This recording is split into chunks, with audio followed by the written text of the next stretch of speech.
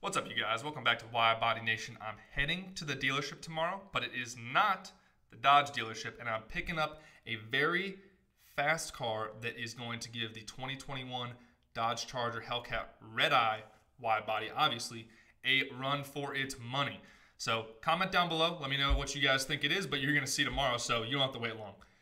Which brings up the point: Am I showing up pre-approved, or am I just going to get my, you know, just going to let the dealer finance me?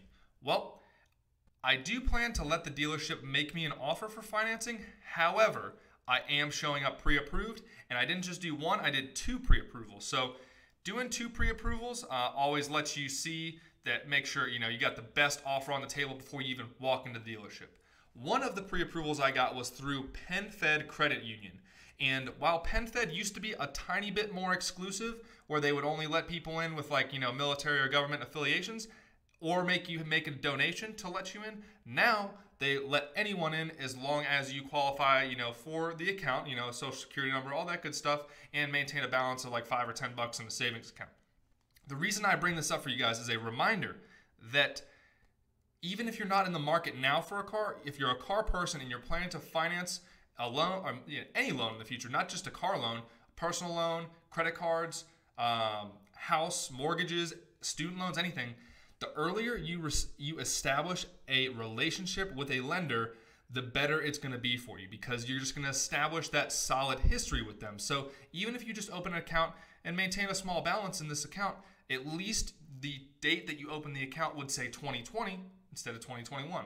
Or for instance, if you took out a small loan or maintained a higher balance here, they would see that positive growth, which would benefit you for getting just on a, on a yes no basis. It'll increase your chance of getting approved.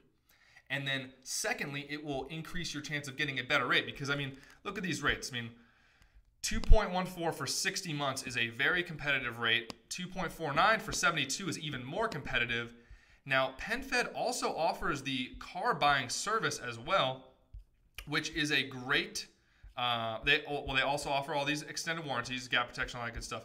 But they also offer the car buying program powered by TrueCar, which allows you to get the absolute best rate possible because they have all these relationships with dealerships. Basically, if you put in a lead to that dealership ahead of time, for instance, the dealership that I'm going and getting the charger at, they are, you know, Gary Mathews Motors is a TrueCar certified, PenFed car buying service certified program. So my rate goes down by 0.75% in this case. So it would go down from like high threes to either low threes or high twos for 72 months. So that is a I mean that's that's saving money right there for you guys. So just a quick reminder, that's all this video was that pre-approval is very important. I'm not saying don't do dealer financing, just go in informed, go in sure that you can buy the car because if the dealer says, "Hey, we can't finance you for whatever reason, whether it's just a 2020 reason or it's a whatever reason, at least you can get the car still if if it's a good deal and you actually know where your rate's at." Now, I will leave you with a few quick reminders. The first reminder is a tool that you can use to decide if the low interest rate, the low APR they offer you, or the cash back incentive is better. So you guys know about Power Dollars. So for instance, if we put in the Power Dollars incentive right here for our Scat Pack wide body that we all love so much, and then we do our market finance rate, say you guys did go through PenFed and get a 2.4% interest rate approved, and they were trying to offer you 0% or 48.50 off those power dollars, you guys would obviously take the power dollars off because you'd be saving two and a half times the amount of money. You'd be saving 5,500 bucks instead of 2,800 or $2,080. Now, if your you know if your market finance rate was let's say five and a half percent, then that gets a lot closer to being you know a toss up here. We'll just crank it up two more percent, 7.4 percent and that makes the low APR, if you were going to do 0%, a much better option. So this is the Edmunds.com calculators, low APR versus cashback calculator. It allows you to put everything in. Allows you to put sales tax in, vehicle sales price, title registration. You can factor in your trade in as well. So it does everything for you, kind of makes the decision nice and easy for you. Secondly, we have our four free stocks, which is valued at a minimum of $21. So if you go and sign up right now, transfer your first $100 into this trading account so you can start trading stocks with that. It's your money. they are going to give you a minimum of $21 of free stocks. That is the lowest amount of money you will get for putting in 100 bucks. So you put in 100, you walk away with 121 that you could just take out once all the stocks settle.